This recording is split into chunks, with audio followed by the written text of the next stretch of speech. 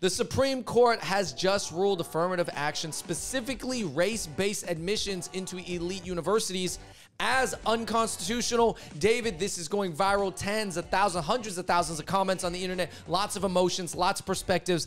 Let's talk about it. Yeah, man, this went viral. I think there's like 200,000 internet comments on this. So this is actually like beyond viral. To be honest, I'm a little bit surprised that people care so much, but I had to think about it, Andrew. And it's because it's not really the specific case in the ruling itself and the micro impacts, but what it means in this like macro narrative war, you should say, or perhaps race war. The race wars of America. The race war. It Right. just keeps going. So, uh, but this is like uh, one of the things that people were talking about for years. Obviously, we had talked about on our channel several times since 2017, since this case really became a big deal. But, anyways, guys, we're going to get into it because we have a lot of different perspectives laid out. I think uh, some that raise really good points on both sides. So, I do think it is a complicated issue, and it kind of depends on just who you are because if you're looking out for your own interest, you're going to be thinking one way. And if you're looking out for your own interests on this side, you're going to be thinking another way. Anyways, guys, please hit that like button. Check out other episodes of the Hot Pot Boys as we try to unpack this. Yeah, I mean, if you guys want to get into the details of the actual court case itself, we made a bunch of videos about it. I, I want to just get into the reactions.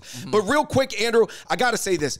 Can you see why people can say that? Oh man, uh, the uh, the white oppressors use the Asians against the blacks and Latinos. That is a common, I guess, um, narrative that you're hearing. And can you see how people would perceive it that way?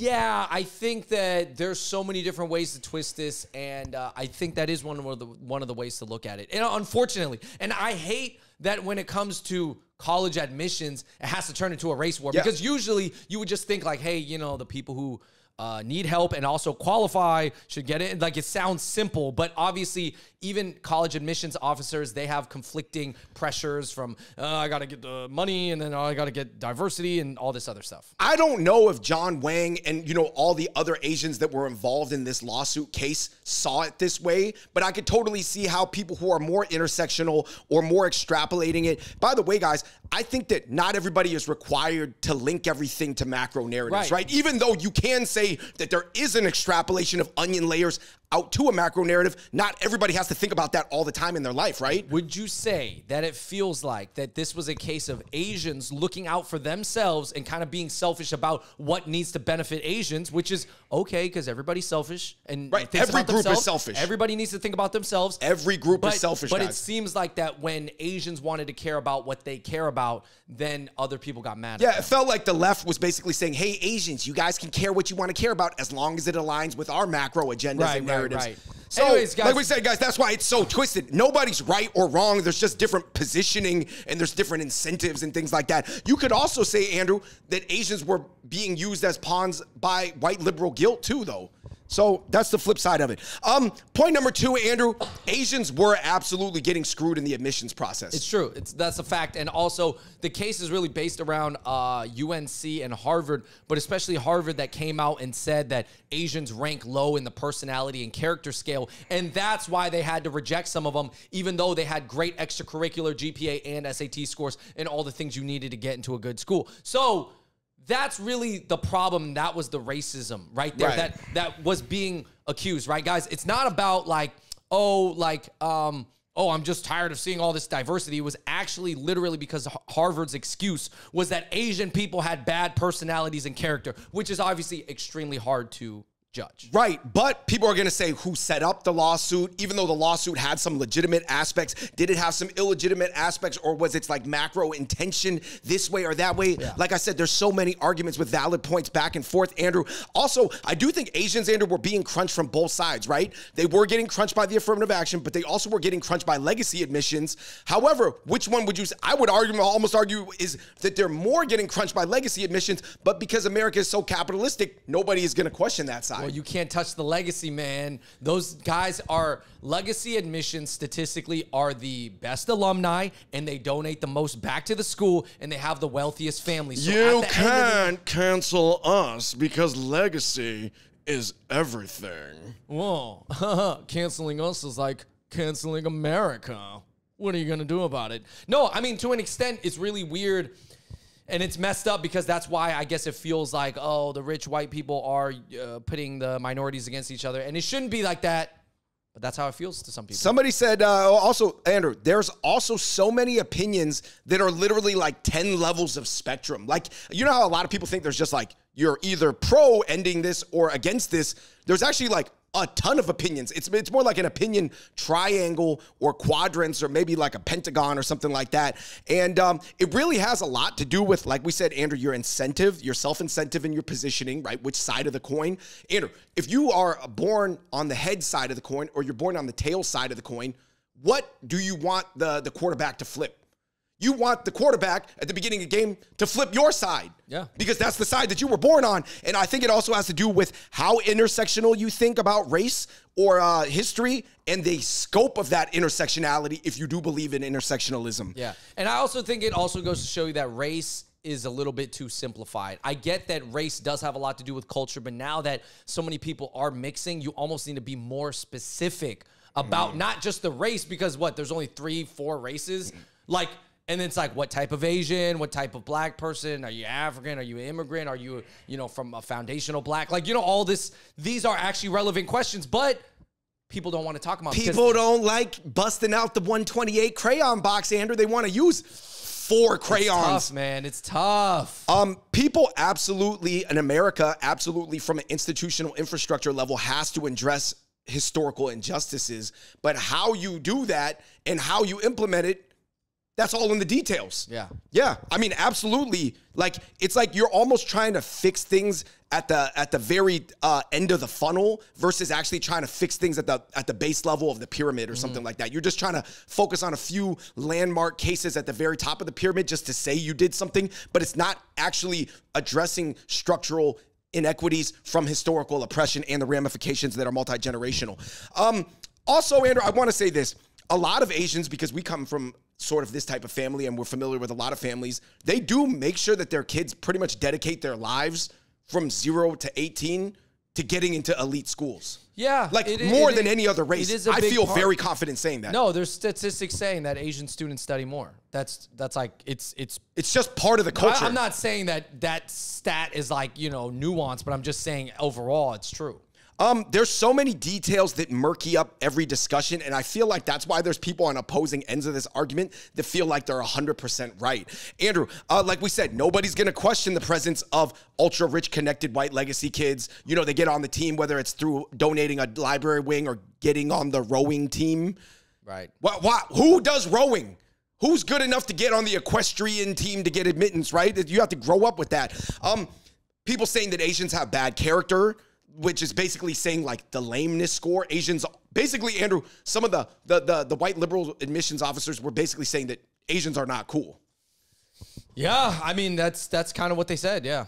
Um, does somebody who is black but comes from a rich African elite family count as somebody uh, that is still like part of the oppressed group?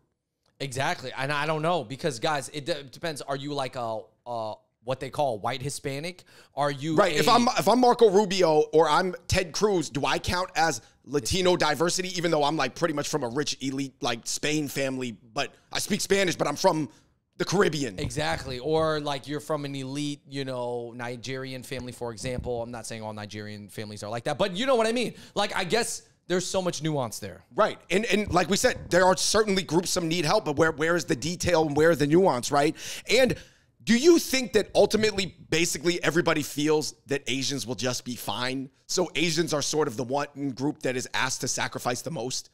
Like, I'm saying that there's a larger narrative, and I feel like this exists on a lot of sides middle class, upper class, lower class. They're, they're just like, ah, you know, Asians, they'll just figure it out. Like, you know, yeah. uh, we got other problems to solve, but the Asians' concerns, they, they, sort of rank low. Yeah, honestly, and it's a gift and a curse that Asians have been able to just kind of put their head down, study their way into things, and take all the hits and take all the punches. But literally, that's what people think. They're like, yo, don't worry about the Asians. They're going to do them. They'll but, be but, fine. Oh, oh they couldn't get into Harvard. They'll get into like University of Michigan or Berkeley. They'll still They'll have a fine life. fine, guys. Like, just don't make any laws for them. Don't help them out. They're good. Right. Or maybe is it Asians' fault, Andrew, for not accumulating more political weight so people actually care about things that Asians are going through, but not all Asians go through the same things. Like we said, you know, you could be from a, a, rich Asian family, like a crazy rich Asians thing, or you could be from a refugee family from an internal war in Asia as well. Anyway, Andrew, let's get into the comment section. We can't get to all of them, but I'm going to try to get to some of the main ones. Andrew, this is a general right wing opinion, but I would consider this a moderate right wing opinion. Harvard used historical racism to justify a new form of racism. Two wrongs do not make a right. Mm-hmm. I would say that this was a general opinion. Andrew, this is more of a centrist general opinion that I saw from the comments section. Somebody said, uh, if affirmative action students are not allowed, legacy students should not be allowed either. Um, yeah, this is well, well. I think this is the tough thing is about American colleges is that it's not like super subsidized by the government. So they do need to make money. Like Harvard obviously needs money. Like every school needs money, right, to pay for things. Um, so legacy students, they do statistically make up more of the donation dollars. That's a fact. Right, right. And they're more involved as alumni in the alumni network. Now, I'm not saying that that amount of legacy students should stay in and but I'm also not saying that all the legacy students are underqualified. That's untrue too. Right, right, right. Um, yeah, like we said, dude, this is so complex and so layered. We're just gonna try to sift through the layers as clear as we can. You guys are still gonna come up with your own conclusions at the end of it, and and you know, some people are not gonna change even with new information. Anyway, um, Andrew, Robert F. Kennedy, who is running for president, part of the Kennedy family, uh, Jr., he had the probably most viral tweet that sort of represents a general left liberal approach. Somebody said, uh, Regarding the Supreme Court banning affirmative action in higher ed, I know that many Americans feel that purely race based decisions are unfair. However, this feeling misses important context. The effects of racist policies that go back centuries are now self perpetuating. Affirmative action understands this and uses race based policies to undo the effects of racist policies. Colorblind admissions tend to favor those who are already in the circle of privilege, it favors those who grew up in affluent, educated households. Wouldn't you like to invite those in who have been left out in the cold? Mm. Andrew, he did. Uh, this was really well wor- worded. I, the Kennedy still got it, Andrew. At least when it comes to speech writing. No, I mean that that was a good bit, but I will say this: the the Republican candidate Vivek Ramaswamy had a response to that, okay. which I thought was interesting. So they've been they were responding each other on Twitter, so you can read both and see what what you think is is uh right. Twitter is the new uh American debate no, stage, right? Debate, yeah. I mean, I would say that Robert Kennedy, he had some um uh really sound logic here, right? Yeah. But obviously the execution is, is in like like what he's saying in the macro is completely true, but we're talking about this specific case, which is actually super micro, but everybody's arguing about it already in the macro. Well, people argue about it because they think like, oh, if you can't get into the elite college, if you get rejected, then what chance do you have getting into those elite circles of power eventually? Right. So this is a little bit. I guess I see what people are saying where it's like it's it's really looking long term for people's careers, right? Yeah. Somebody said, uh, you know, everybody says that our unity is our strength and diversity is our power, but I'm telling you this, guys. I'm being honest. Diversity divides. Everybody's just seeking what's best for themselves America's doomed. Dang. This was coming from, uh, I don't know, I'm assuming this guy's white, but I'm not sure. I mean, what do you think of this, Andrew? Because it does it show right now that like everybody's sort of going what they want for, and then some people are just keeping that issue compartmentalized, but other people are drawing like all these larger extrapolations from it, and, and now they're arguing and yeah. they can't agree well, on it's, anything. It's crazy because like even if some rich white people want to say, you know, we're sorry for what we did, uh, and uh, here's these new policies that are gonna unfortunately affect Asians, and the Asians are like, wait, why? Why do we have to suffer from this? Right, right. They're like, uh, here's these spots. Uh, you just, you guys deserve it because we kind of mess with you guys. Uh, take it from the Asians. Yeah, I mean, really, what should happen is that just more minorities should become legacy kids, and this is obviously one of the ways that they do become is that they have to go to the college first. Right. So I guess that is an argument for it. Like course. we said, guys, there's a lot of valid stuff on all sides. Somebody said Asians are being used by whites again. Those in the comments to this are either blind or in denial. I mean, I think that this is an interesting comment, basically saying like, but like I said, not everybody thinks about intersectionality and the scope of intersectionality the same way. Someone's saying Asian people being used as pawns in the white man's game. Sad to see. Um, Andrew, this is a pretty popular perspective. Obviously, there was people in the comments calling them boba liberals and stuff like that.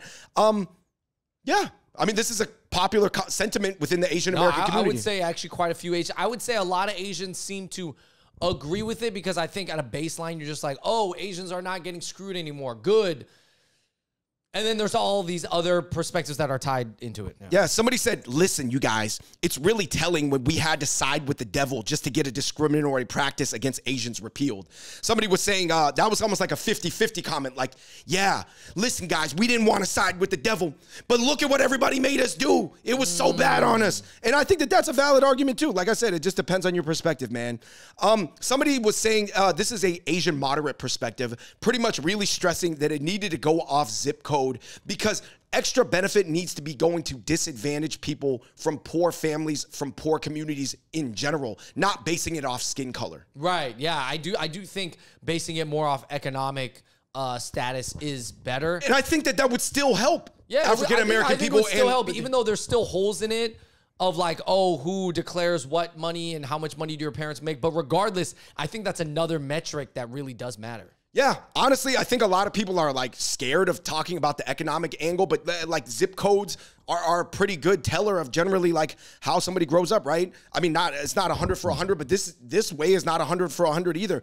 Um, somebody said, man, a win is a win for Asians, man. At the end of the day, Asians just finally got one. I don't care if the Republicans give it to us or the Democrats give it to us. A win for a win is a win for Asians. Mm. So this was just a very Asian centric one. Somebody said, what if we kept affirmative action around, but then just expanded it to cl- include Southeast Asians, which are five times X statistically more to see um, moderate poverty or home instability.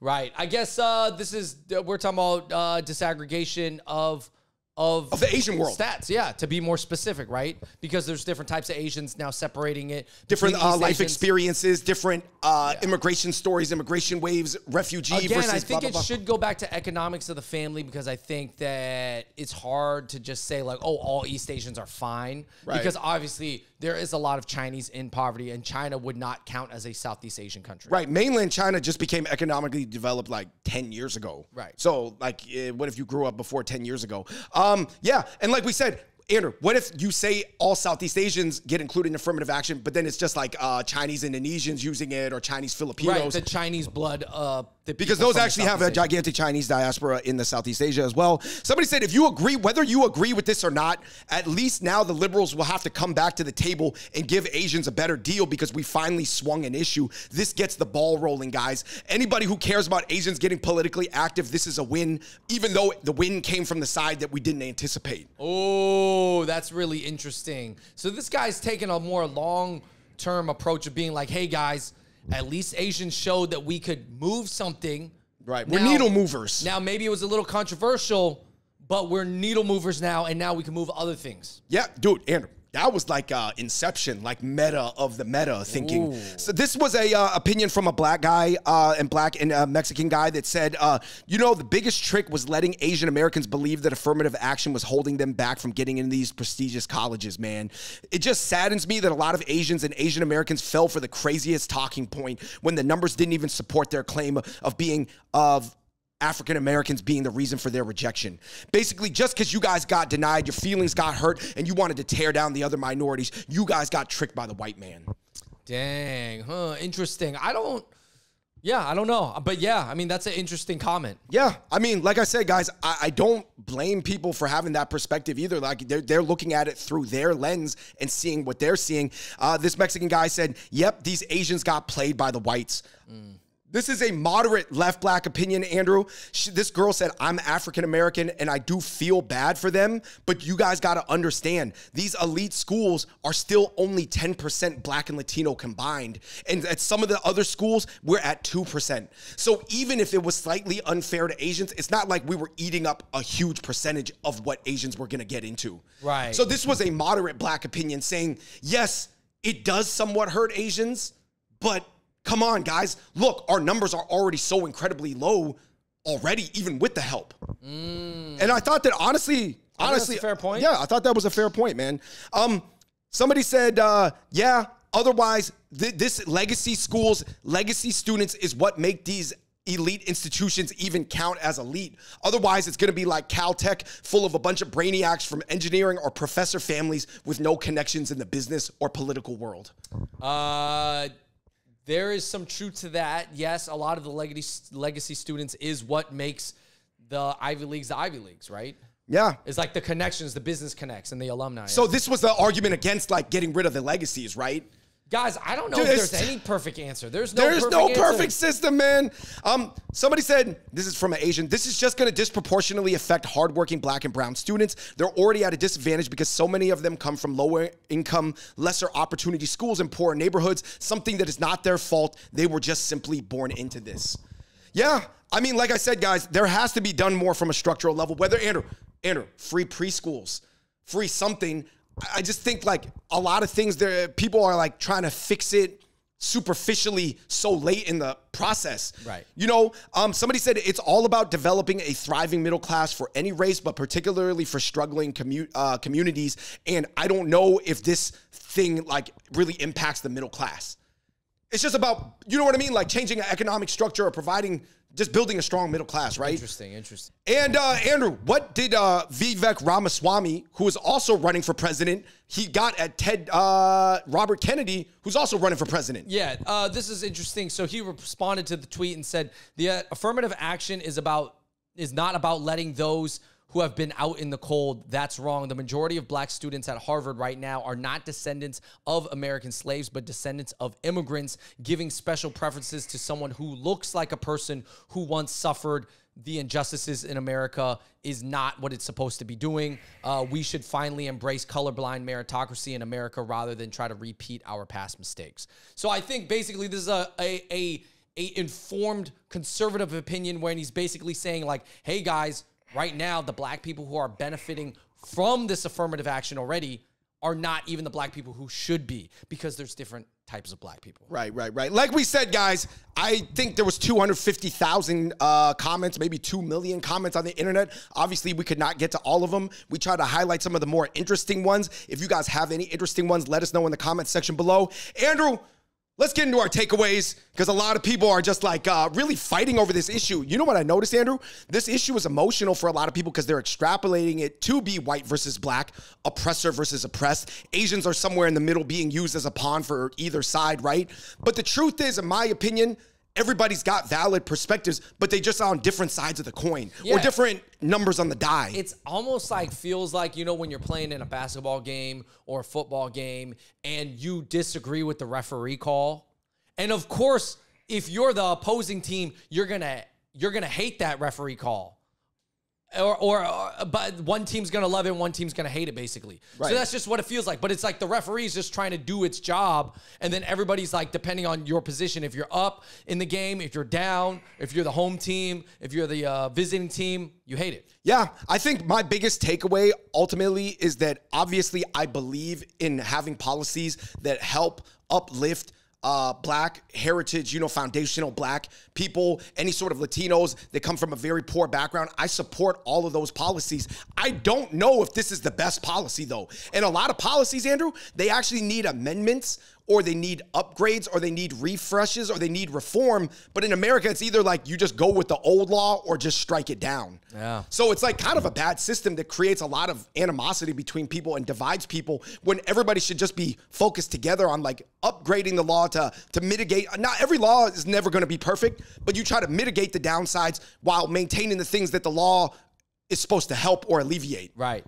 Uh, another takeaway is like, man, this almost is viewed as pretty much a rich white versus like poor black issue. Essentially, is how people are boiling it Yeah, down. yes, yes, yes. And then Asians are villainized and getting caught up in the middle, Yeah. which is which is very interesting to me. You know what I mean? And I'm like, so Asians who are not white and not black, but because we just really try very hard and honestly a lot of asian kids just focus on getting into those schools and they study hard and they really want to be successful and just they're hyper achievement oriented maybe to a fault you can yeah, yeah, that. right. Maybe possibly to a, uh, Maybe I guess, much. horse with blinders on way. Yeah, I totally I'm Asian. think I, that. I, I could say that for some of them, but but regardless, it's almost like the yellow's getting caught in the middle, man. Do you think if Asians did a better job of supporting each other, that we could have a political entity that fights for Asian rights without getting caught up in this white black binary, where it seems like you're either basically supporting, I guess, like white liberal guild or, you know, white.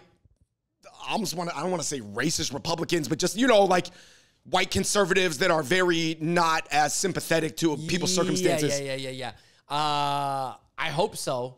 I hope so. I do hope that this is a step in the right direction. I do not think this means that all Asians are Republicans. I do not think that all Asians are conservatives now just because of this. But and, and I don't even think that all conservatives are right wing nut jobs, and I don't think that all left wing people are like progressive angels either. Yeah, I think that I, that's a bad characterization. And, and I really think it's wrong if Asians who are fighting for this are always like, yeah, like look at this black and brown student. Nah, you know, like I think that's the wrong attitude too. You know, you're just they're trying to fight for fairness um, without all like I guess the hate behind it and stuff. But is it inevitable because the larger groups that have the larger agendas each other, they're like viewing this through their lens, where the Asians were really just like some nerds that really wanted to get into an Ivy League. You know school. they call this a zero sum game, David.